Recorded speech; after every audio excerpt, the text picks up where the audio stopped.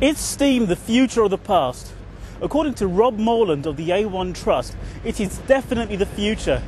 They have managed to build a brand new steam locomotive, the first one since the 1950s.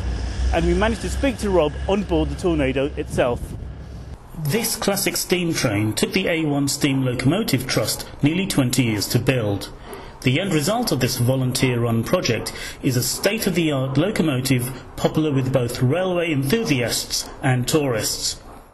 Every steam engine that works on the main line in the UK has to have two uh, safety systems on the on, on the engine. The first is the OTMR, the on-train monitor and recorder, which is the black box of the, the engine. It's actually coloured orange, um, and that uh, provides a, a record of everything that goes on on the engine.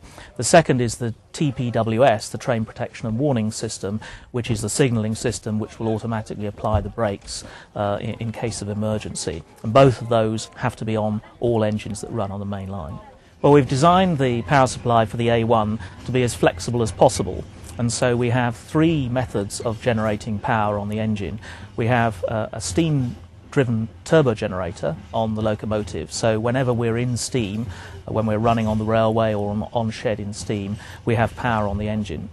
Secondly, we have a large tender alternator which is driven by a belt off the axle of the tender. This is a, an alternator off an old parcels van, and this generates power when we're on the road, when we're running a train like we are today. And thirdly, we have the ability to connect mains power to the system if we're on shed out of steam, so we can power the engine really wherever we want. At the moment, uh, all steam engines on the main line in the UK are limited to 75 miles an hour maximum. Some are actually running at a, a lower speed than that, but uh, no steam engine in the UK is allowed to go more than 75. We have designed the A1 to be uh, capable of running at 90 miles an hour, and uh, we are working with the VAB and with Network Rail and our partners uh, to prepare the engine for 90 mile an hour running. But there's no great hurry for that.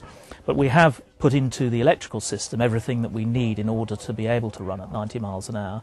And perhaps the most significant uh, part of that is the essential lamps that we have on the engine.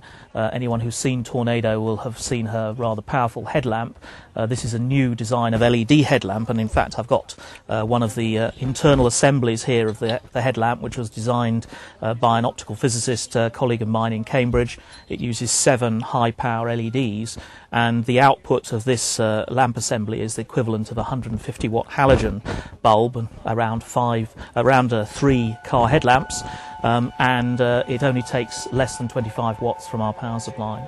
We've designed the system with plenty of power available for uh, modern systems as they become available, and perhaps the uh, most interesting of these is the uh, ERTMS, the European uh, modern train signalling uh, system. And we've designed the engine to be able to provide all that's needed for ERTMS when it comes in in the UK. So we have provision for the power requirements, and we've decided where we would locate all the equipment for it. So that's it. This is the A1 steam locomotive. This has been a childhood dream of mine for a long time to actually experience an actual steam engine, and not only that, to actually stand on the footplate. This is Kris Sangani for E&T Video.